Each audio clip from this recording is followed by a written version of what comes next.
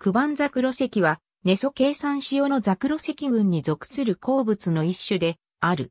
パイロープの名称はギリシャ語の炎のように燃える赤を意味し、ろうそくの明かりにかざした時の色に由来する。かつて18世紀から19世紀にかけて、チェコのボヘミア産のパイロープはこの地方の名品であり、寒暖岩が風化した土砂の中から産出するものであった。現在ではほとんど取れなくなったが、この地方のボヘミアンガラス工芸は、このボヘミアンガーネットを再現することから始まったとされる。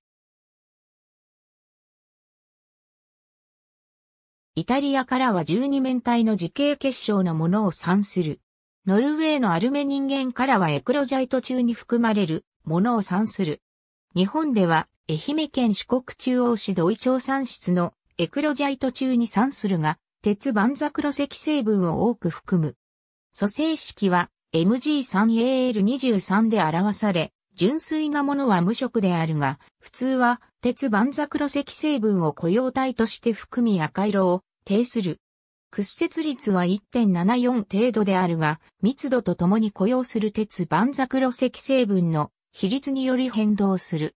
クバンザクロ石は地球のマントルもしくは観覧岩、玄武岩など苦鉄質岩の高圧による変成作用により生成し、鉄板ザクロ石よりもさらに高圧条件で生成しやすいとされる。キンバリー岩あるいはエクロジャイト中にも産し、鉱サイトと共存する場合もあり、ダイヤモンド結晶中に内包されることもある。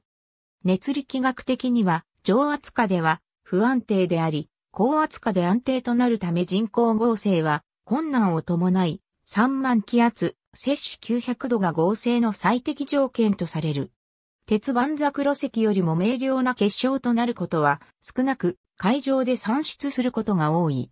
変更顕微鏡下でも薄いピンクがかった紫色に見え、着色する傾向が強くある程度は区別可能である。